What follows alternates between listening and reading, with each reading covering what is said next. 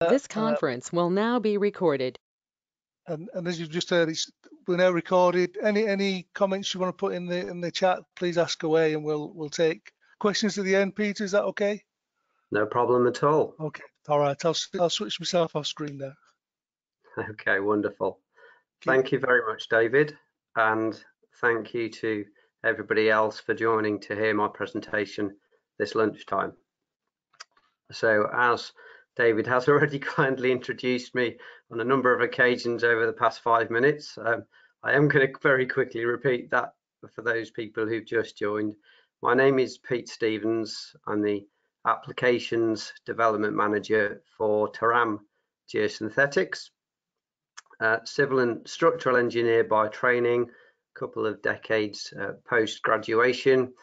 Um, I think I would say I, I very much am uh, an expert these days in, in geosynthetic materials. I am not an expert in rail applications.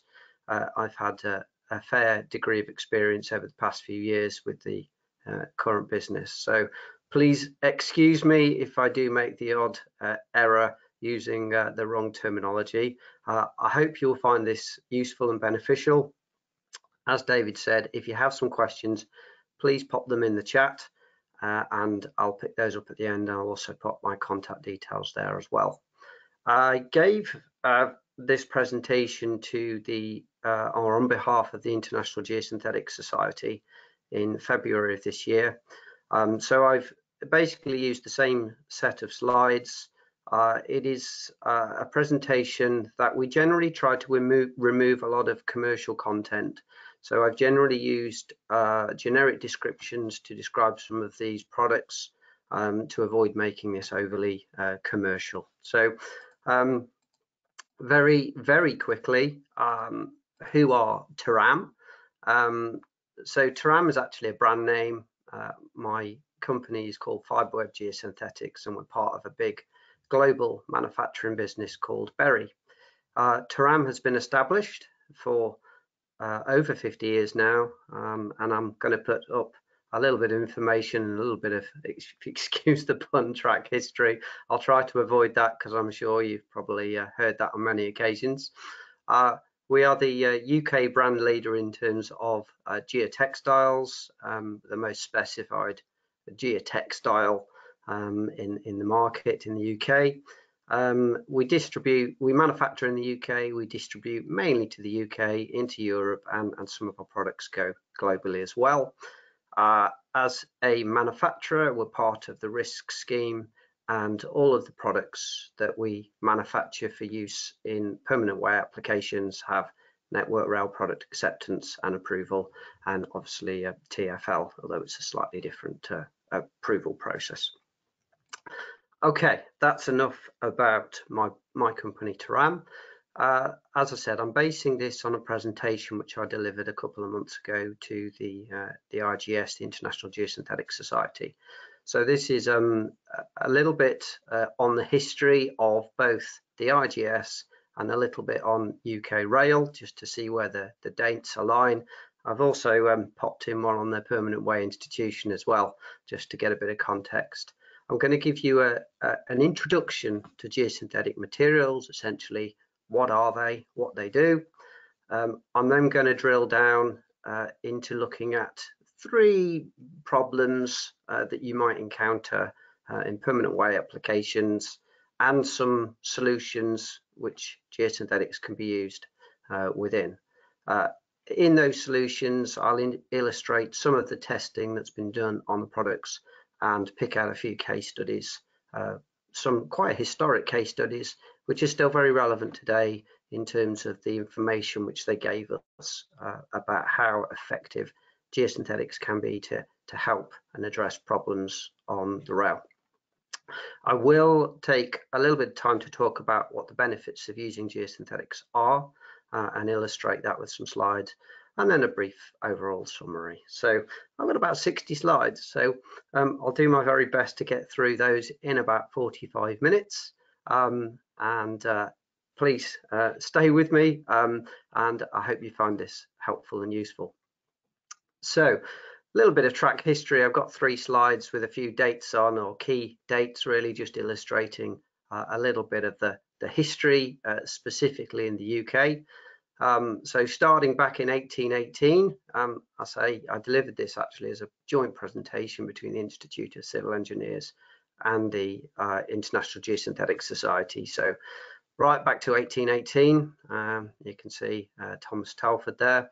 Um, by 1825, the first commercial uh, rail line was put in, the Stockton and Darlington Railway, steam locomotive, photograph at the bottom showing that on ballasted tracks, uh, not steel rails at that time. Um, for those who are interested, the first steel rails went in in Derby Station in 1857. Um, I've just popped in when your institution was formed, 1884, Permanent Way Institution. Um, I'm certainly not going to cover all of the, the various things that occurred over in, in that time, but certainly between 1884 and uh, the sort of turn of the, um, the, the century, um, it was a heyday for rail. And by around 1914, there was in the order of 20,000 uh, linear meters of track throughout the UK or throughout the British Isles. Um, initially, those were very a lot of independently owned.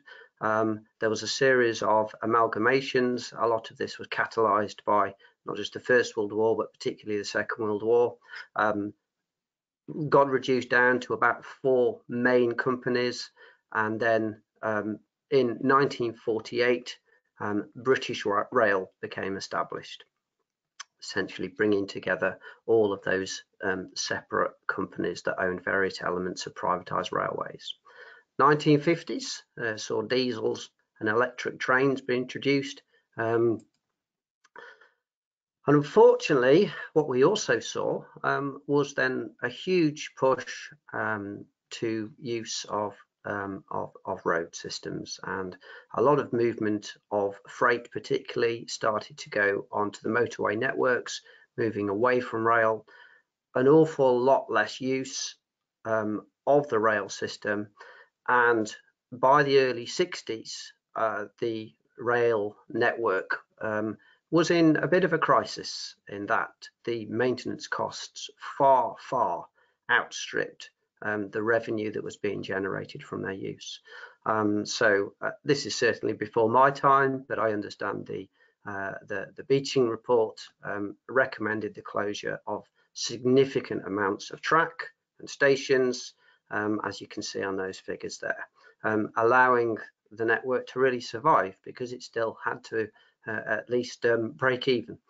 Um, so that's a little bit on, on British Rail. Um, and then by uh, 1970, as I outlined, the first commercial geotextile was launched, and that was that was Terram, a non-woven geotextile.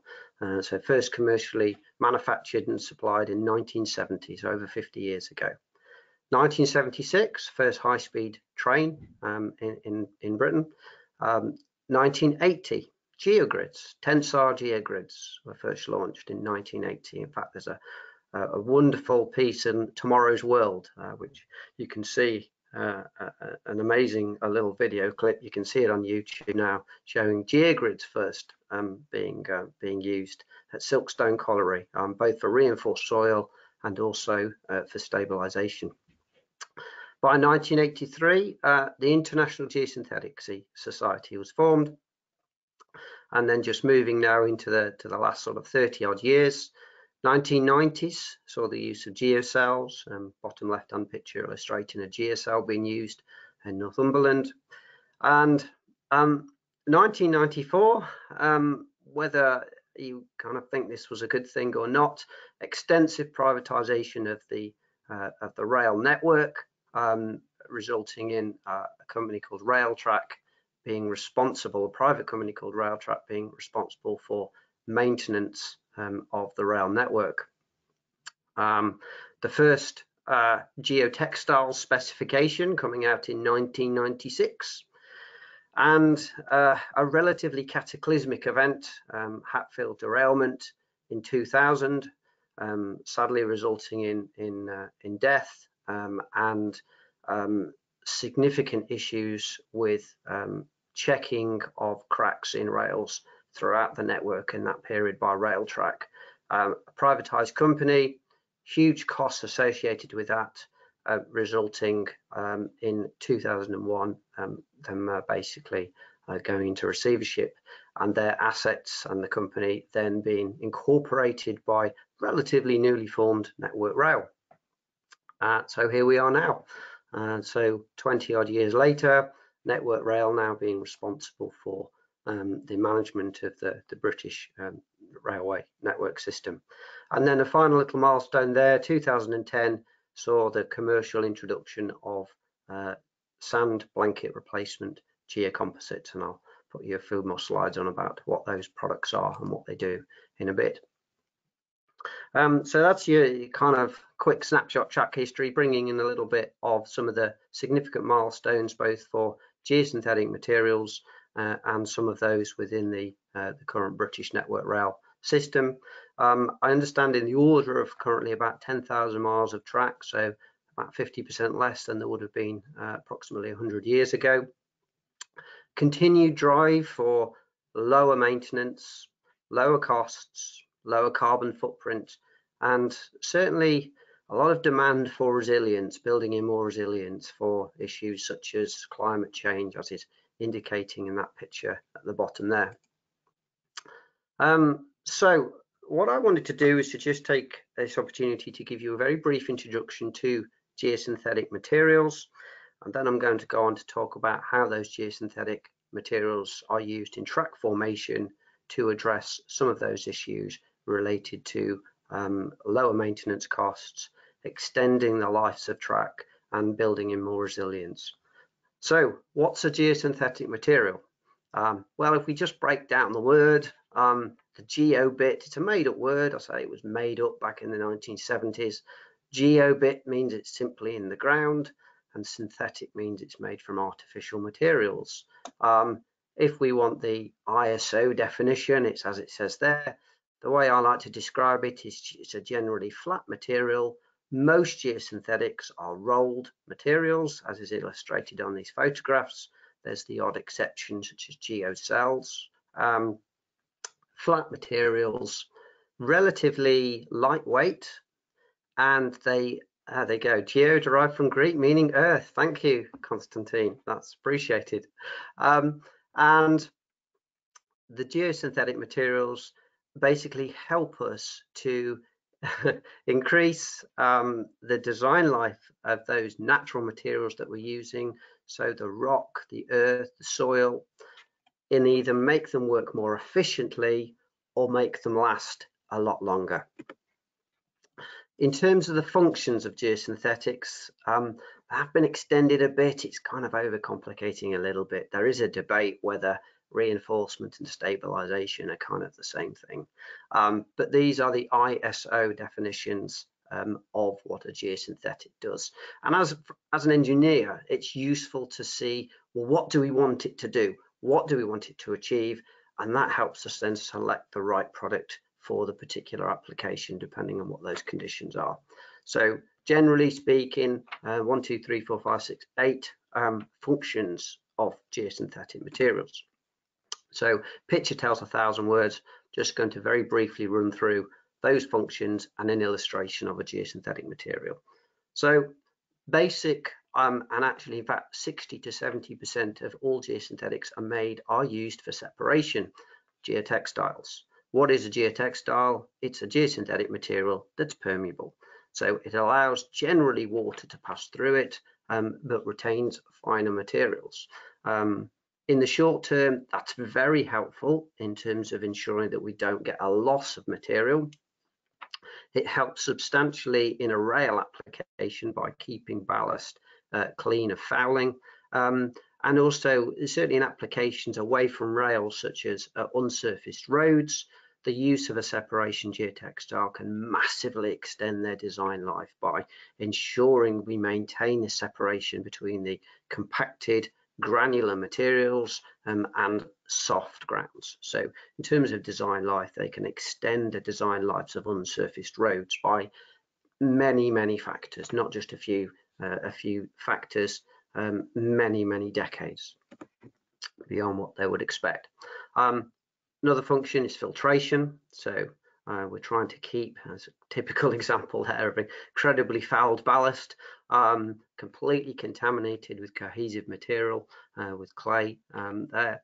And geotextiles can be used very effectively to provide a filtration function, as is demonstrated on that trench there. So rather than having to use um, different layers from small moving up to very large particles um, of granular material, we can now use a single size drainage material in the trench, and encapsulate it with a non-woven permeable geotextile, providing that filtration function.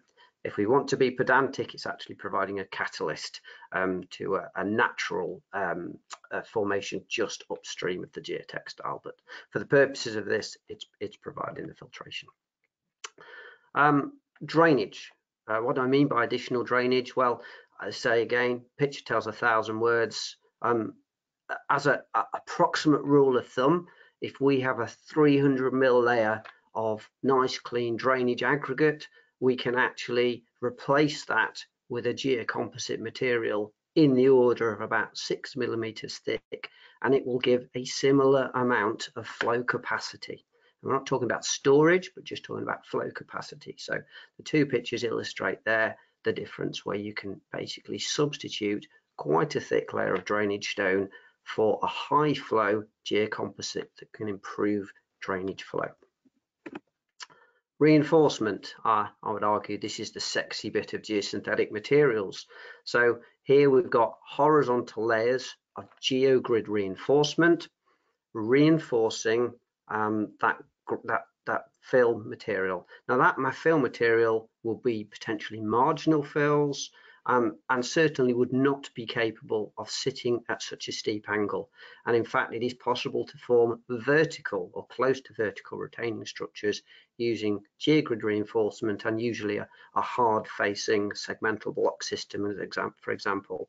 But basically we can be using much more marginal materials, we can be using reclaimed aggregates, we can be using materials with very high cohesive contents and we can make them stand up at unbelievably steep angles. So by providing that reinforcement to the soil blocks as indicated there, so horizontal layers of geogrids. Um, as a nice example, um, just kind of illustrating how a geogrid can be used for stabilization. So essentially the um, granular material interlocks with the geogrid and provides this composite structure. So the geogrid actually stabilizing the granular material and stopping it from moving apart very, very useful in soft ground conditions and actually can seriously show conservation and a reduction in those uh, imported granular materials by using geogrid um, to provide stabilization or, or geocells in, in certain situations. Um, membranes, geomembranes sit within geosynthetics. I'm certainly not going to talk about geomembranes for this particular application in terms of track formations generally not used very much, um, but that's a, a, very good example of how a geomembrane can be used in environmental engineering applications.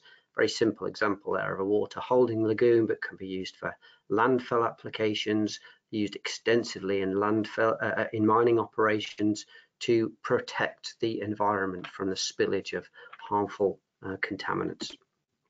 And obviously those geomembranes need to be protected. So this is an example of a heavy, robust geotextile providing protection to that geomembrane. Um, and then the final one, but also just as significant and some nice examples there of how geosynthetic materials are used um, to provide erosion protection and in conjunction with a lot of other stabilization uh, systems. So um, erosion control um, on the surface, and as I say, in conjunction with things like soil nails. So um, that was a, a bit of a, a, quick overview of geosynthetic materials. And now uh, I'm going to spend some time talking about um, track bed construction and uh, how geosynthetic materials can be used within the formation to address a, number of different problems associated specifically with ballasted track. Um, so uh, this is going to be revision for everybody here. So I'm sure I don't need to go into much detail of the basic components, steel rails, sleepers, ballast, um, and then uh, blanket stroke sub ballast, and obviously our, our, our subgrade layers. Um, just a quick quick overview um, here in terms of the main two types of um, construction. Ballasted track is, is obviously um, have been extensively used for, for, for, you know many many years, many decades, uh, centuries really. Um, relatively low investment compared to hard slab track construction, um, and as it says there, easy to lay, uh, tends to have higher maintenance, um, particularly in poor ground conditions. Um, does provide good drainage in terms of the ballast itself, but drainage can cause, or poor drainage can cause significant problems. Um, tends to be around a 20 year design life approximately some people might argue with me on that one um, speed limited and certainly much much higher speeds are capable with uh, slab track construction which is certainly why uh, the vast majority of HS1 and HS2 works are on slab, slab track construction um, and there are other things to consider uh, as well some of the limits with ballasted track in terms of speed um, so this presentation is very much focused on ballasted track um, and whether geosynthetics can be used um, within ballasted track. There are uh, situations where certain elements of geosynthetics can be used uh, within slab, slab track construction, um, but certainly in terms of the filtration separation functions, more relevant to, to ballasted track applications. Um, so um, Maintenance. Uh, maintenance is is is the big key. Um, it's firstly uh, we have this uh, layer of, of, ballast material uh, which has a very when new very high void ratio in the order of about 40% um, interlocks really well together um, and provides um, provides this this platform that's relatively easy to maintain it's all about stiffness it's providing uh, a good elastic bed so that as the loads come on um, the track deflects, um, but then will recover. And we would see a small amount of deflection, but what we want to do is to try and minimize that amount of deflection um, and uh, extend the uh, the periods of, of uh, tamping operations, as is shown here, as high as possible. Uh, tamping operations actually can create uh, dust as a result of the huge pressures involved in tamping the ballast back underneath the sleepers. So it, it in itself can cause issues with creating fine particles within the ballast, contaminating it more, uh, compromising the ballast in terms of its drainage capacity uh, and contributing towards fouling ballast. So what we want to do is to try and extend those maintenance periods as much as is practically possible so that we don't have to have uh, speed limits as shown there and uh, issues with track geometry, etc. Um, so what I'm just going to kind of illustrate here is a few problems um, on ballasted track and some solutions which incorporate geosynthetic materials. So um, I know these are not all of the track problems, um, but a little snapshot. Um, subgrade pumping, severe um, clay slurry uh, migration into ballast, top left. Um, bottom left, poor drainage. As soon as we have water uh, within uh, any type of granular material or cohesive material, standing water, it causes uh, a degradation in strength and that can uh, affect therefore the performance of the ballast layer and the elasticity of the ballast layer. Um, top right, um, they're showing essentially a too thin ballast layer um, and the, the, the forces uh, causing attrition and abrasion of the ballast and that white dust there showing essentially ballast abrasion. Very, very soft subgrade uh, formations can be very problematic and you can potentially see you know, deep-seated subgrade failures. Um, so very soft um, soft uh, subgrade formations can be an issue. Um, possible causes of these problems, as I said there, very soft, weak, variable ground conditions, insufficient drainage, as I've mentioned, severe subgrade erosion, um, etc., etc. You can read the list. Um, so, um, can geosynthetics solve these problems? Um, yes, uh, they can certainly be um, used um, in part of the solution and sometimes can be the main solution. Um, going through the list, sand blanket replacement geocomposites with reinforcing geogrids, top left picture there, geogrids providing ballast stabilization. Um, simple application, but drainage trench liners, as I showed earlier, can be very effective at helping to keep fine materials out of drainage trench and GSLs providing sub-ballast stabilization. So I'm just going to pick out um, a few of those and just talk through um, some case studies and some examples in terms of some of the testing that's been done. Um, geosynthetic track formation products are well established. Um, these illustrate the five core PW uh, products for Terram geosynthetics. Um, so a standard separation geotextile, uh, top left, a couple of robust um, geotextiles, separators, and one with enhanced drainage function, geogrid and geotextile reinforcing and separating geocomposites, uh, and then more recently the sand blanket replacement geocomposites such as Hydrotex. Um, I'm not going to go through this one in detail. I'm going to just leave a few of these slides up for reference if people want to go back and refer to them. So this is more of a comprehensive overview and there are additional products in there such as GSLs for stabilization. So in terms of the geosynthetic material shown on the left and the functions and what we're actually trying to achieve in the middle. Um, so going back to my first my first problem, um, wet beds. Um, so very uh, severe erosion um, of the uh, subgrade being shown here.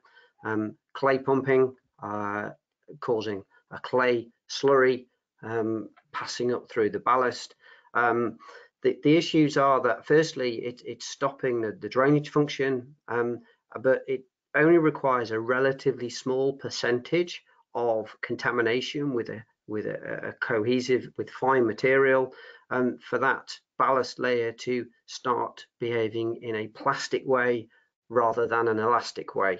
So as soon as we see that cohesive contamination within the ballast layer, we then don't see the recovery um, after the loading, and that then results in considerable more um, maintenance intervals to try and restore the geometry of the track.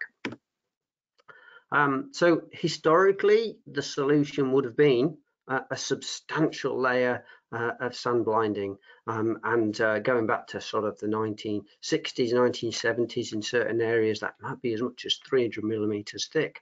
Um, so yes it worked. It provided that pre-filtering. It kept the clay slurry out of the the, the sub ballast and the ballast layers. Uh, but it's obviously a very very expensive solution. So I hope everyone can still see this uh, little image here. So this is just describing essentially the approach with the geosynthetic solution. So here we've got our, our water illustrating in our ballast. Um, there's our, our train coming over and causing this dynamic cyclic loading um, through the ballast and onto the subgrade. And now we're seeing our clay slurry forming, migrating up through the ballast and then causing this deformation plastic deformation and, and obviously that settlement is then reflected through up to the track. So there's our geosynthetic solution. Um, geotextile separator and uh, sand blanket. I'll come back to your question, Patrick. It's just flashed up in a minute, but I'll, I'll pick that up at the end if that's okay.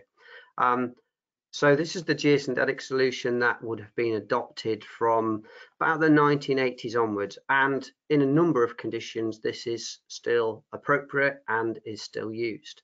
Um, so 100 mil sand blinding layer, it will depend on uh, the existing uh, the existing blanket um, as to how much sand blinding layer requires to be installed. It does depend on the underlying conditions. If there's a a history of, of wet beds. Um, but there's your 100 mil sand blinding layer going in. Obviously, very extensive uh, operation.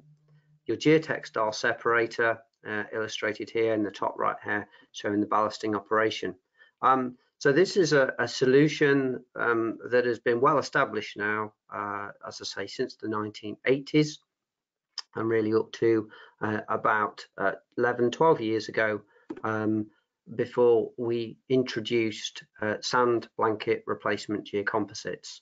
So sand blanket, gear, uh, sand blanket replacement geocomposites such as Terram Hydrotex uh, were introduced approximately 11 years ago.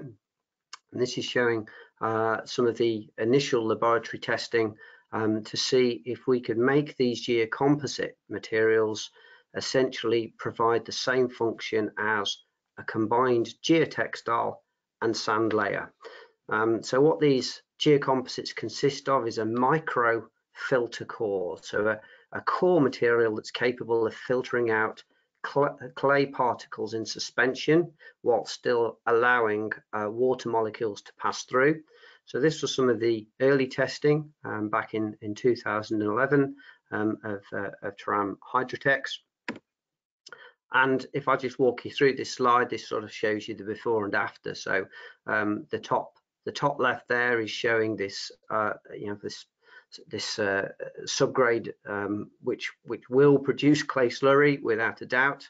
Um, so the geocomposite was placed on top of that and then subjected to this cyclic loading and then the um, the top uh, obviously the geocomposite ballast um, the top right hand picture there showing uh, after the test um, partial removal of some of the ballast stone showing the water having been squeezed up through the geocomposite but uh, with very little in the way of contamination.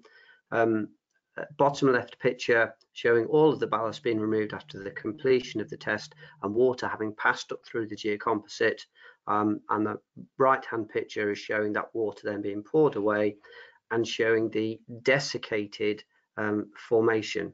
So this gave us um, really a good indication that these geocomposite sand blanket uh, replacement geocomposites were very effective at um, separating out those fine clay particles that would conventionally pass through a conventional geotextile. I wouldn't recommend you drink the water, but that's an indication of the water that's passed through the material while filtering out the fine clay particles.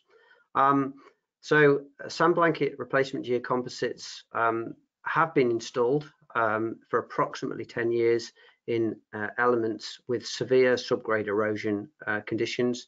This is an example of a, of a project at Monks Lane, uh, installed in 2013. Um, this is a cutting, um, about four meter uh, cutting. So there were some issues with water here and standing water on the track, but as you can see with the bottom right hand picture, that's your, your severe issues with uh, with clay slurry contamination of the ballast. Um, so the there was an awful lot of maintenance having to be done in this particular section. So this, um, this the treatment here uh, was an excavation of 200 millimeters of, of the fouled and contaminated ballast. Uh, sand blanket replacement geocomposite went in with a geogrid over the top and 200 millimeters of clean ballast. Um, and this is showing the uh, the, uh, the results of the displacement um, pre uh, renewal uh, one week and then five months afterwards. So essentially what you can see is very clearly um, substantial reductions in displacement um, before the after after the after the installation of the sand blanket replacement geocomposite and the geogrid. Um, be very useful to see how this one is uh, performing as well now, but sometimes we don't always get to see uh, everything where the uh, where the where the materials are supplied into. Um, but this is just showing the next stage essentially in terms of the laboratory testing. Um, so this is 2014 and big rig testing at Birmingham University. Um, so this is essentially looking to firstly simulate a little bit more realistically what the small rig did uh, on a larger scale.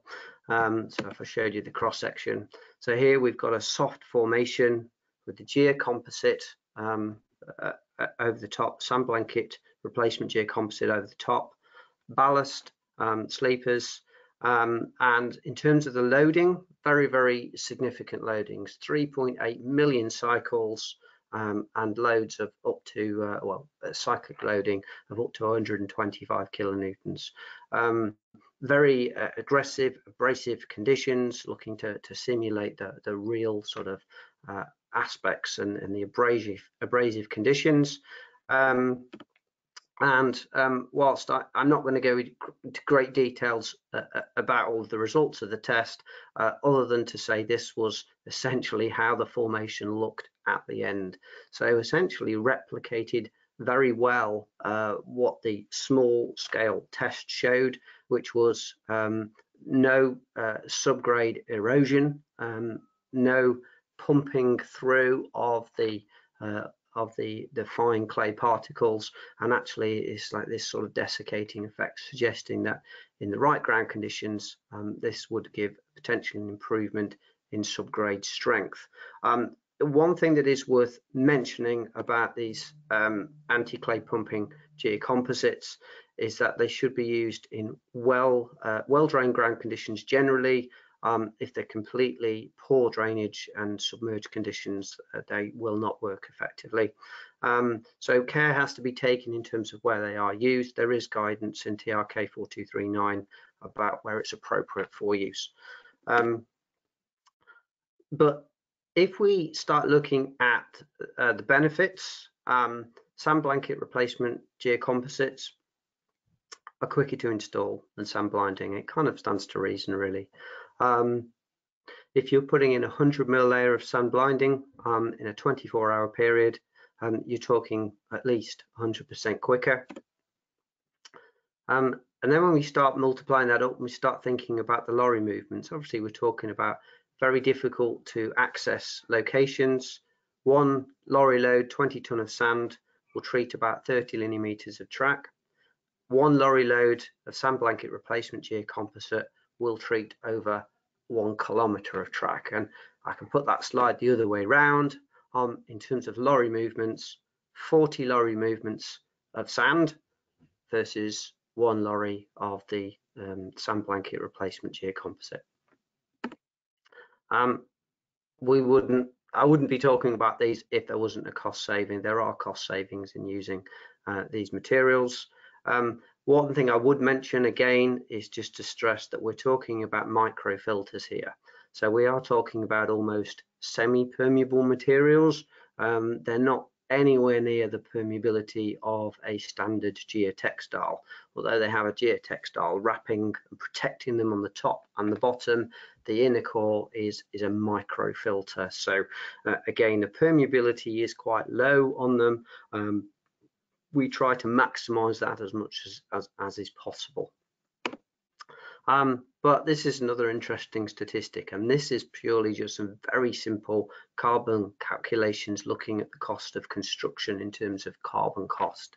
Um, this is not even talk about the life cycle and, uh, and the life cycle assessment. Um, so carbon savings for a sand blanket replacement geocomposite versus 100 mil of in the order of about 20%. But certainly in terms of long-term durability, that's likely to be much higher as well. Um, so uh, the other problem I wanted to look at was high maintenance in those areas where we've got uh, very soft uh, ground uh, potentially um, where we've got uh, we've got lots of issues of having to go back and do lots of tamping operations. Um, so how can geosynthetics help in those sort of situations? Um, so this is, as you can see from the date, this is a, very old study. Um, so geogrids themselves were, were launched in 1980. Uh, so this is going on 25 years after geocells first came out, but it's still, you know, it's still a good 16 years or so ago. Um, and this is uh, an area that was uh, were requiring a lot of maintenance, a lot of tamping um, maintenance in the order of two, two or three times a year. Um, and so this area uh, with very soft formation um, had uh, had renewal work uh, with a layer of um, geotextile separator, a geogrid, and then reballasting um, to uh, to look at, at that treatment. Um, so what was the results of that? Uh, well, with this area, it was quite useful because there was an awful lot of, of information available on how that section of track was performing um, for pr prior to this, this um, intervention. Um, so as you can actually see here in terms of uh, expected um, expected reduction in settlement, um, you're looking in the order of over one and a half uh, millimeters every year, so requiring a lot of intervention and, and a lot of uh, a, a, lot of tamping works. Um, but what this what this track was showing that once the intervention with the geogrid was uh, was in, we were getting substantially less overall um, deflection, which is basically indicating that we're extending those maintenance periods by as much as uh, three to four times uh, that as to prior to the installation of the geogrids. Um, how is that working? Well, it, it's it's acting as confinement. It's stopping the ballast from laterally moving, um, and that uh, that extends the lifetime because we don't see the lateral movement of the ballast, and it actually can improve the bearing capacity as well. Um, so I say relatively old uh, case study, but uh, but but uh, basically paved the way um, for the inclusion of geogrids, um, certainly um, in those areas to extend um, ballasting periods. What I would say is that if the ground conditions are poor, if you're in soft ground conditions, there is significant benefits in using geogrid reinforcement within ballast. Um, if the ground conditions are good, uh, it's it's a little not it's not quite so much benefit, um, and that's generally the case. You know, even outside rail applications for the use of geogrids, they're a lot more beneficial uh, in soft ground conditions. But this is looking at basically extending maintenance periods, as I said, in soft formations reducing tamping. Um, in terms of thickness reductions, um, again, there, there are some elements where geogrids can be used to reduce the overall construction thicknesses um, for for renewals, uh, and it's when you have got you got poor uh, poor stiffness results.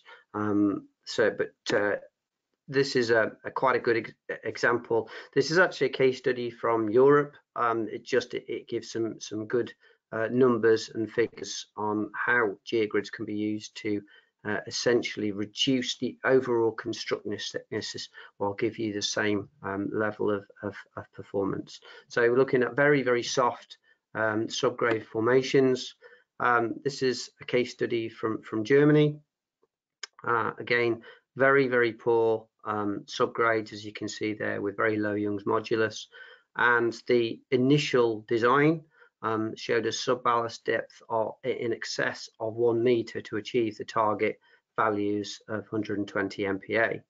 Um, the um, solution using a geogrid um, and geotextile reinforcement um, gave the same level of, uh, of stiffness of Young's modulus, the targets at the underside of ballast, but a substantial reduction in the overall thickness.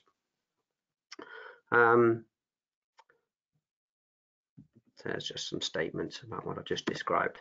Um, so what's the overall summary? Um, if you include that geosynthetic reinforcement, um, you do get a substantial reduction in aggregate excavation um, and disposal savings. So essentially you're creating, this as it says there, a stiffer composite material. And um, as is indicated here, we essentially extrapolate that 350 mil depth saving to a one kilometer long track, uh, four meters wide. Uh, we can save 1,400 cubic meters of excavation and disposal, uh, approximately 108 wheel tipper truck movements, uh, and then you can just add the same again for the amount of imported aggregate. So in terms of the benefits of using geogrid reinforcement, geosynthetic reinforcement, that's kind of showing it there. Obviously, this is very, very poor ground conditions, um, but it does it illustrate the, benefits uh, of using them from a, uh, a reduction in vehicle movements and a reduction in the amount of imported um, materials.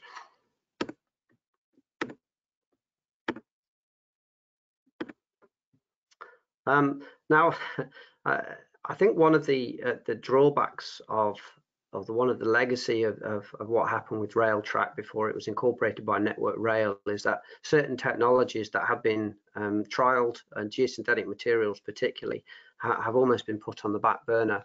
Um, but this is a, a case study I, I, I, uh, I found out about, um, which basically shows uh, the benefits of using um, geocells to essentially provide sub-ballast stabilization. Uh, very, very poor ground conditions. Um, they had horrendous issues with with uh, settlement, um, very low uh, speed limits, one kilometer long section. Uh, this is going back back to, I think, approximately 1992.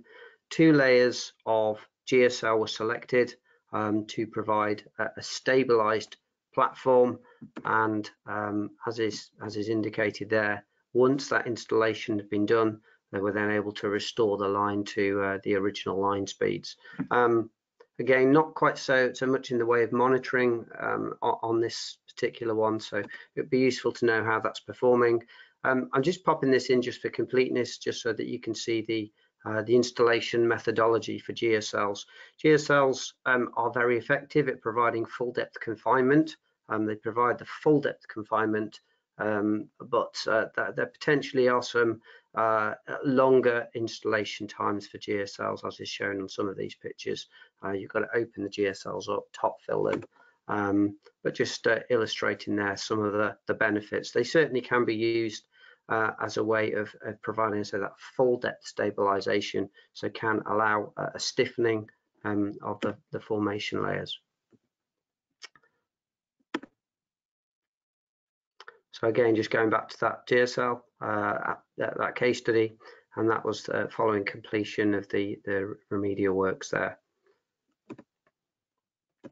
Um, so in overall summary, I, I, have just picked on a few snapshots really from uh, a few different case studies where geosynthetic materials have been used over the past 30 years. Um, uh, we do know that geosynthetics uh, will extend maintenance periods in the order of three times, possibly more, in very poor ground conditions, um, do reduce uh, tamping and extend the ballast life. We do know that in certain applications, um, geosynthetics can be used to reduce thicknesses um, uh, up to 50%, um, and they will, uh, without doubt, optimize the system stiffness. Um, it's it's a twofold thing because when we're looking at things like separation geotextiles for filtration and separation what we're trying to do is to just keep the ballast from becoming um, not so fouled um, and that in itself will extend the life um, but then also the geosynthetics can be used for stabilization and reinforcement potentially allowing the reduction in those sub-ballast thicknesses um, so uh, efficient track renewals, without a doubt, mean, there's certainly a lot of benefits uh, in the speed and time when you're talking about possession windows using geosynthetic materials. Um, now, as I said, this presentation I gave uh, on behalf of the IGS, um, so uh, I must uh, give acknowledgements to those other contributors. Not all of the images I've shown there are Terram products, um, so there's a, a number of companies there um, that illustrate their products too. Um, if you wanted to know a little bit more about geosynthetics, unfortunately the 9th of March has gone.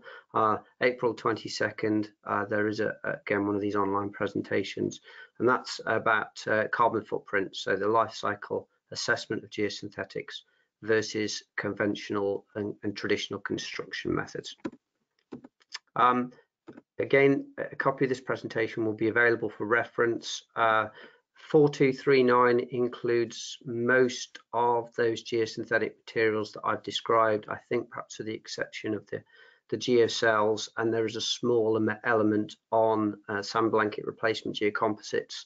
Um, there's also a guide to track stiffness uh, uh, 2016, which is very useful. It's got a number of those different case studies uh, relating to, to how they can benefit and improve the stiffness, or in certain situations, geosynthetics can be used to reduce stiffness, but mainly improving stiffness. So um, thank you very much for listening. I, I, hope you find that useful. I think there are a number of questions, so um, I don't know if you um, if you want to um, assist me with that, David, or uh... yeah, Peter, yeah, brilliant. Thank you for that explanation and well, highlighting some of the benefits of the the products. Uh, yeah, so we have got just a couple of questions. Uh, yeah, on very minor timescale. So Patrick's put a question in there regarding the composite that's combined with a separating geogrid. Does the ballast manage to interlock sufficiently when the geogrid is flush? I think that's probably what you see most of the the images when everything's laid down. Does yeah. that work? How does it? Yeah, that that's that's an installation of two materials. So the sand blanket replacement geocomposite goes down first, and then the geogrid does go over the top. Um, now the the the composite material is flexible, so um, it's got high elongation, so it, it will deflect, and the ballast will then get the opportunity to interlock into the geogrid.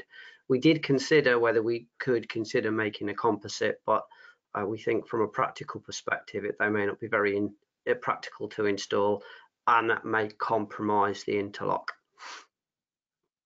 Okay, thank you. And we've got a couple of questions regarding the rig, it seems. Uh, so Constantine regards the, the rig. Uh, what determined that three sleepers was sufficient? Why not make it uh, larger? I don't know. Um, that, that that's uh, a before my time. That was Birmingham University. Okay. Uh, I guess the, the, rig is pretty large as it is, um, and I guess practically you make it even bigger. It makes it more expensive. You've got to increase the loads. Um, so I, I don't know. I think there is a larger rig available in North America. I remember speaking to an academic who was in the process of doing that. It could be in the future we look at that, but the bigger you make these laboratory equipment, the more expensive it gets to test. I mean, the uh, the, the the the cost for that test alone was in the order of thirty thousand pounds. So uh, I would only pale at how much um, yeah a bigger bigger rig would cost. Uh, so Rob Patrick's put a question about does the lab testing uh, does the lab testing demonstrate what performance of the sand blanket reinforcement grid will be over the entire design life of the track bed? Um, it, it basically gave us a very good indication of how it would perform over a significant period of time. I think the test itself was in the order of four months and it was accelerated, obviously. So um, it, it didn't so that the composite uh, didn't have the geogrid reinforcement element we were only looking at the performance of the microfilter if it prevented that clay slurry from uh, migrating and um, if it stayed intact so those were the two the two things that were being looked at um, oh, sorry it's always annoying you get that happening Right, I don't know how to turn that off. I've got to leave that. Okay. Hopefully it'll go in a minute.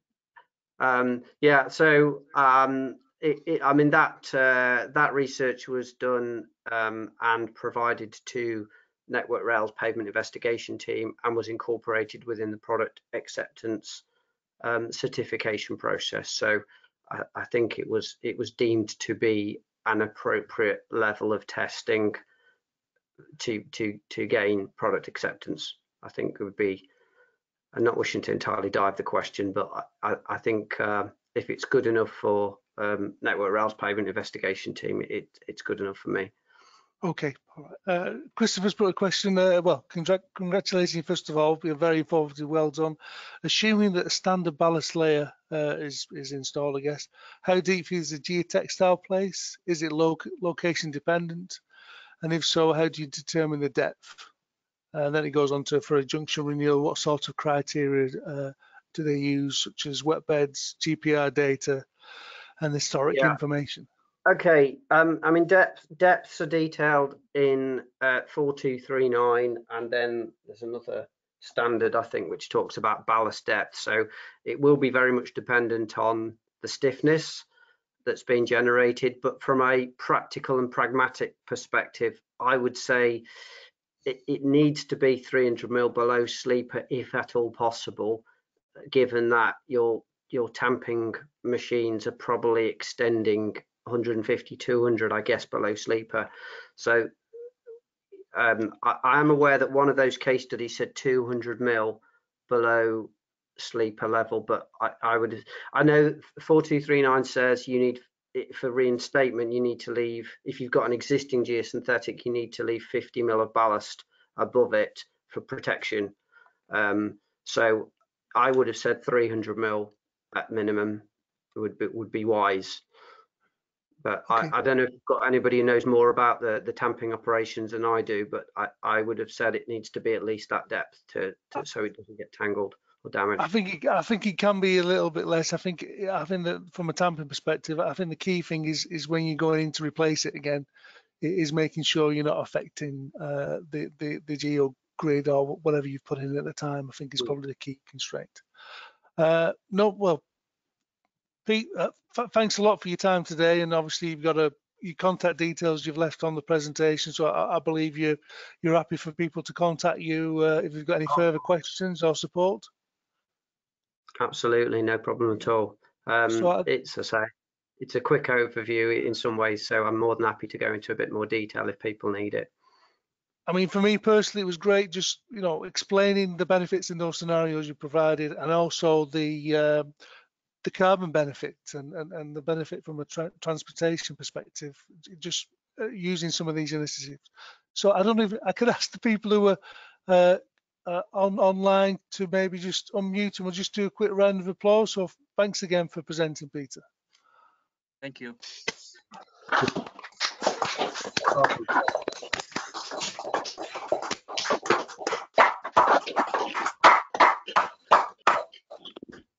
Uh, th- thank you very much for your time. Brilliant.